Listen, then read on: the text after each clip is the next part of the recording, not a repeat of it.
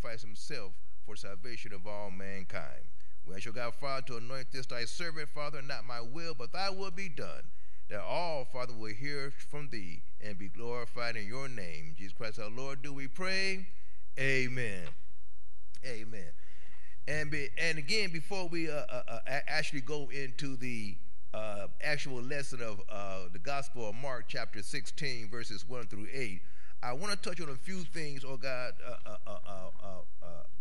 to help us to get to the place of Mark 16 by looking at uh, Mark 15, 42 to 47. Now, I'm not, go- I'm not going to read all of 42 to 47, but I do, I do want to touch on some, uh, on some key points.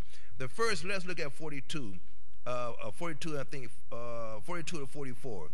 Mark 15, it says, And now when the even was come, because it was the preparation, that is the day before the Sabbath, Joseph of uh, Arimathea, an honor, honorable counselor, which was which also waited for the kingdom of God, came and went in boldly unto Pilate and craved the body of Jesus. In verse 44, and Pilate marveled if he were already dead, and calling unto him the centurion, he asked him whether he had been any while dead. Now, I, I, I want this uh, uh, uh, to hopefully to give us a sense of what's actually taking place here. First, uh, we're dealing with the Jewish Sabbath. Now, Jewish Sabbath uh, actually begins on the evening of Friday and ends on the evening of Saturday. Amen. And that's the whole 24 hour of the Sabbath. Now, it, it, was, it was getting too close. They had to have Jesus down off that cross in the Jewish mind and buried before the Sabbath actually begun. Now, what Pilate does not know here is that Jesus is already dead. He's already passed on. So, therefore, uh, our, uh, the Joseph of, uh, Arimathea, who it says here is an honorable counselor, uh, did not want Jesus to be hanging on a cross during, uh, uh, during the Sabbath. Now, time is short here. So he rushes to Pilate, the governor, and inquires and seeks a permission to take Jesus down and put him and, and bury him and prepare him for, uh, uh, uh, for the burial. Now, what is striking is Pilate does not know that he's dead yet. Uh, and Pilate is actually shocked that he's dead, uh, which tells me that in previous uh, crucifixions, people still hung around, hung around a, a little bit longer. But he's surprised that Jesus is dead, but he also wants to make sure that he's dead. So what he does is he sends a uh, he asks the centurion. The centurion verifies that he is dead, and he sends the centurion to also re-verify that he's dead. And when he is sure that he is actually dead, he allows uh, Joseph of Arimathea to go and bring Jesus down and to take him to the tomb and to bury him. Now, this is actually significant uh, because if you look at the history and, and so forth, it, it would take time to prepare a body in the Jewish in the Jewish tradition of of burial. But here we have we're going to see that it was rushed. They did what they did quickly because the time was too short to properly prepare Jesus' body for the necessary burial. So they take him down and uh, uh, uh, I'm just going to jump to 45. And when he knew it from Pilate, and when he knew it of the centurion, he gave the body of, to, to Joseph. And, and he brought fine linen and took him down, wrapped him in the linen, laid him in a sepulchre which was hewn out of rock, rolled a stone unto the door. And verse 47 is also is also uh, uh, um, uh, amazing. Mary Magdalene and Mary, the mother of Joseph, beheld where he was laid. In other words, these two Marys, they wanted to know specifically where they were going to lay Jesus. Amen. So they actually was following them. Now we're not sure if they were following close behind or far behind, but they were following to make sure they understood and knew where Jesus was buried. Because again, they understood, they knew that he was not properly prepared. Uh, his body was not prepared, prepared for for burial. They did a rush job, so they followed him into uh, uh, to uh, find out to make sure they knew where he was at. Then we come down to our lesson today. Again, uh, Mark uh, 16, verses 1 through 8, and let us read it. And when the Sabbath was past, Mary Magdalene and Mary, the mother of James, and Salome had brought sweet spices that they might come and anoint him. And very early in the morning, the first day of the week, they came unto the sepulchre at the rising of the sun, and they said among themselves, Now notice this question Who shall roll us away the stone from the door of the sepulchre? And when they looked, they saw that the stone was rolled away, for it was very great. And entering into the sepulchre, they saw a young man sitting on the right side. Notice that right side clothed in a long white garment, and they were affrighted. And he saith unto them, Be not affrighted. Yes, you, you, you seek Jesus of Nazareth, which was crucified. He is risen. He is not here. Behold the place where they laid him. Seven, but go your way to the disciples and Peter, that he goes before you into Galilee. There shall ye see him as he said unto you. And they in verse 8, and they and they went out quickly and fled from the sepulchre, for they trembled and were amazed. Neither said they anything to any man, for they were afraid. Amen. Now, if you look at these uh, verses carefully, the first thing you will notice is there is no excitement here. There is no excitement that Jesus was raised. There is fear. They're concerned. They're worried. Because if you remember, what did Jesus say? He, uh, he, he told the, uh, the Pharisees and, and, and, the, uh, and uh, the nation earlier that uh, if you destroy this temple in three days, I will raise it. They thought he was talking about the temple, the, Jew, the, temple of Jerusalem. He was talking about his body. And all through the teachers to his disciples, he was still telling them that I will be resurrected. I will be killed and I will be resurrected. But not, but they did not want to believe that. So at the early morning, when Sabbath was passed, now notice this is early in the morning, early Sunday morning, that they're coming with the the uh, uh, uh, the, the spices and everything else ready to prepare Jesus properly, to put everything that they need to be uh, uh, on him for a really proper burial. Amen. But the question remains: Is wait a minute the tomb has a stone in, uh, in front of it. So it's a good question. And these are women. Now, it's, it's, a few men could not even move that stone. But isn't it a beautiful thing on how the Lord God has prepared everything in the due time for his, for his will to be done? And we see Mary, Mary and Solomon walking towards the tomb. Just, just walking. They're not in no hurry. They, they, they, they, don't know that Christ is risen. Amen. And they go and they ask a question.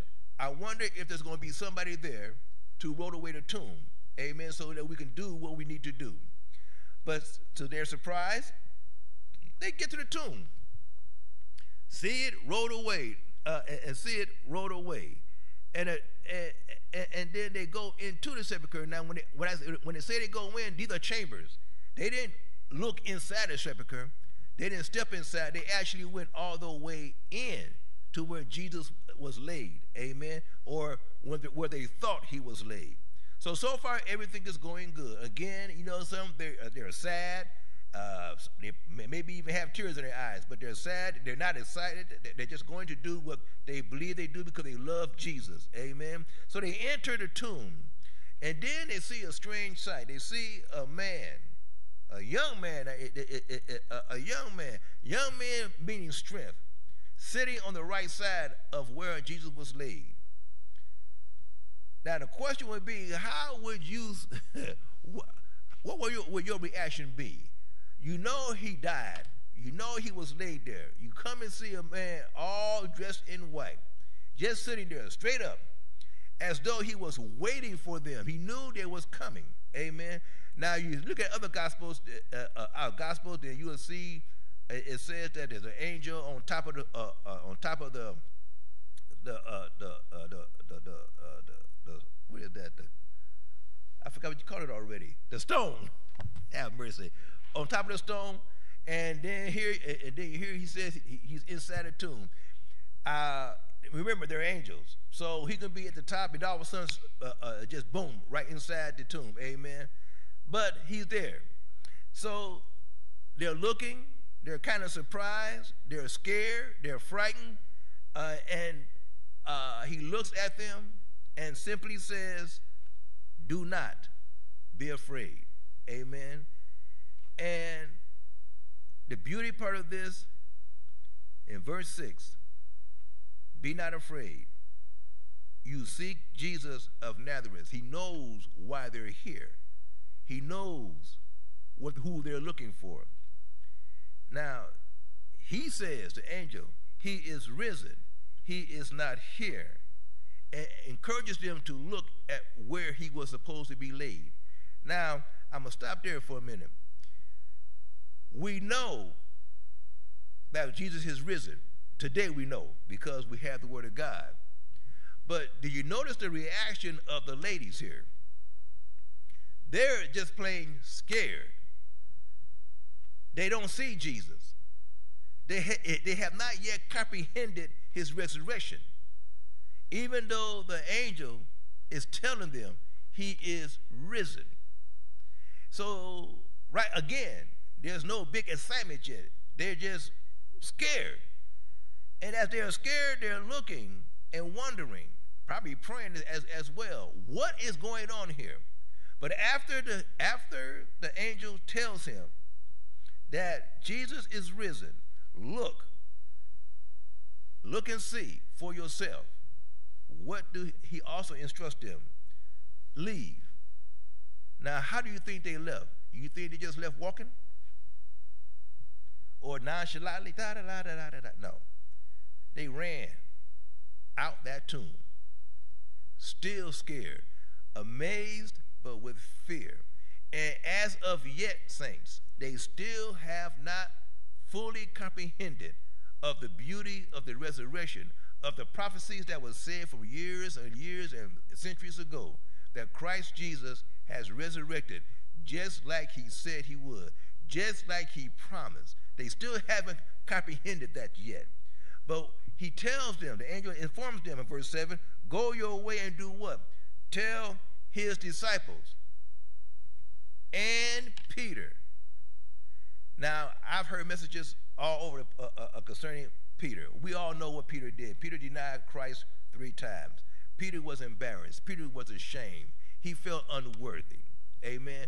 But why? But it, it, it was very important that the message got to Peter and the disciples. And he specifically called out Peter because it, I, I believe that if he did not do it that way, Peter would not have came. Peter would not have, uh, uh, uh would still be in hiding or wherever he, he, he's at. But it's important that they make sure that you tell Peter that Jesus is risen. Amen. Jesus loved Peter. He loved his disciples. So therefore, as you look at that, he's saying, tell the disciples and Peter that Christ Jesus is gone before you. In other words, he, he, he, is ahead of you, waiting for you in Galilee. Amen? In Galilee. And therefore, what he wants you to do is to come, to come and meet him there, where you can see him face to face. Amen. And they went out quickly, verse 8, and fled again uh, from the sepulchre, for they trembled and were amazed. Neither they say anything to any man, for they were afraid. They were still scared. And they ran. And if you go down further in the scriptures, you discover the beauty that when they confront the disciples and tell them the story and tell them what they have seen.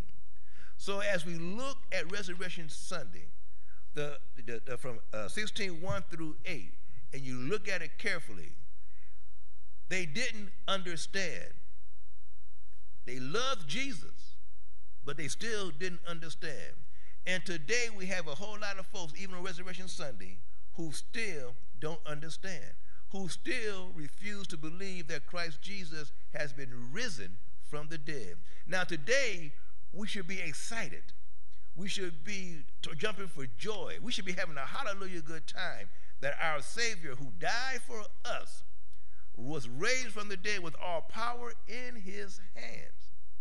Not to be afraid, but to glorify God in all that he has done for us. And these ladies, three of them, eventually, as time as they go through uh, through the scriptures, as we see, eventually they will realize that Jesus has kept his promise. He didn't leave them. He didn't forsake them. He did what he said he had to do. He did what he promised that he would do. And he's the only one that was ever raised from the dead. Amen. The Son of God. All these other prophets and everything else, you can find them, their bones are still buried. But Jesus, no bones, no nothing, was still raised from the dead. And he rose early Sunday morning. Do we know exact time? No. But we know he rose early Sunday morning. And because of that is why we have peace with God, why we have the blessings of God, why when we accept the Lord Christ in our hearts, in our minds, we are able to go forth with joy and with love one for another. All because of the promise kept, the promise assured. Amen. So therefore, as you continue to go forth and celebrate Resurrection Sunday, rejoice and be glad rejoice and understand that the Lord Christ not only died, but he actually rose. And not only did he rise, I may even go further, that he will return again to, to, to get his church without spot and without wrinkle. Are you going to be in that number?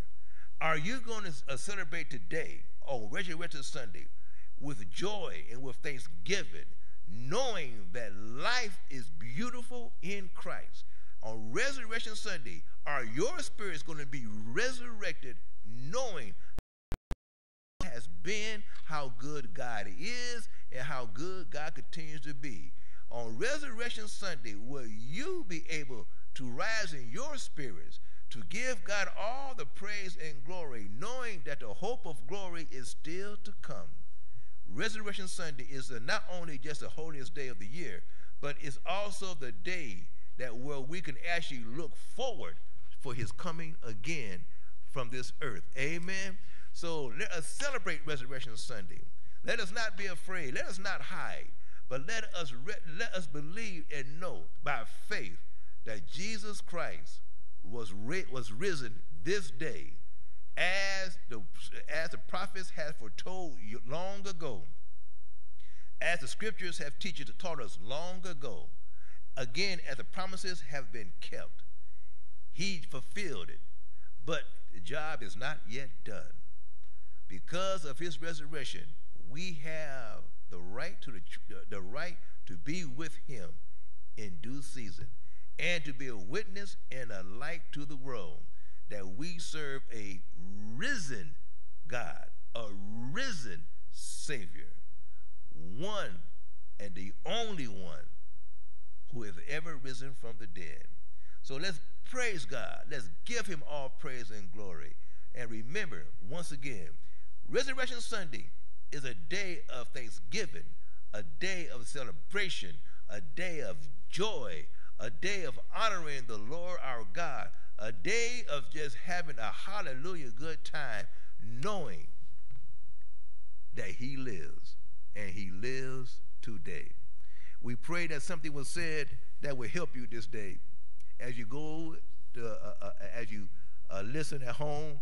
And we hope and pray that you would get out to come on, come on in to open door, or wherever the Lord leads you uh, uh, leads you uh, uh, to a church home, amen, and celebrate with the congregation, celebrate with your friend, with family. We all should come, be coming together and celebrating together of the beauty of our Lord and Savior, Jesus Christ, on this Resurrection Sunday. To God be the glory, great things He has, is, and continues to do. Uh, be, pray, be blessed, be strengthened, be encouraged, and by the way, put a smile on your face. Amen. It's a good day to give God some praise. Amen. Let us pray. Gracious God, Father, we want to thank you. We want to thank you, God, Father, for the lesson, this, uh, this uh, a lesson on Resurrection Sunday. We want to thank you, God, Father, for our sisters, oh God, Father, the, the two Marys and Solomon, Father, who though they they have fear, who though they may not have understood at that at that moment, but yet and still, oh God, Father, as we have the word and the testimony, oh God, Father, that you have you were risen, oh God, Father, and right now you are there safely at the at the right hand of the Father in heaven, oh God, Father. Not only there, oh God, Father, but with all power in your hand, oh God, Father, to guide us and lead us, oh God, Father, into more truth, to more uh, to, to more strength, to more joy, oh God, Father, in thee. So, Father, right now we ask thee, we ask you continue thy anointing, Father, upon the service, oh God, Father, that would uh, that would take place. And Father, for all the program that's going on, Father, we just ask you, Father, to bless that all of our attention, Father, would be would be on the truth, and that is Christ Jesus has risen. In Jesus Christ our Lord do we pray. Amen.